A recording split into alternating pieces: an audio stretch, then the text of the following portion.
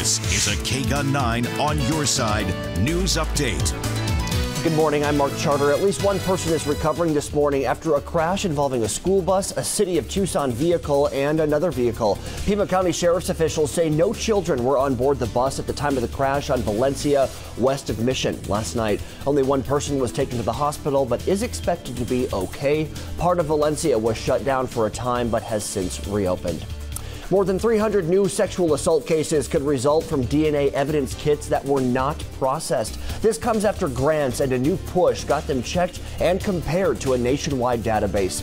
Tucson police had about 1,900 evidence kits unprocessed. Prosec- prosecutor Nicole Green says about well, uh, says out of about 14 or 1,500 evidence kits processed, about 370 matched people in the DNA database. One Southern Arizona organization hoping to curb hunger and food waste at the same time. For the last two decades, Borderlands Produce Rescue has fought to keep produce out of landfills and in the homes of people in need. Yolanda Soto is the president and CEO of the organization. She says they only receive produce from companies bringing it in from Mexico to be sold to grocery stores here. Through a program, the organization takes the millions of pounds of produce and resell at a low cost.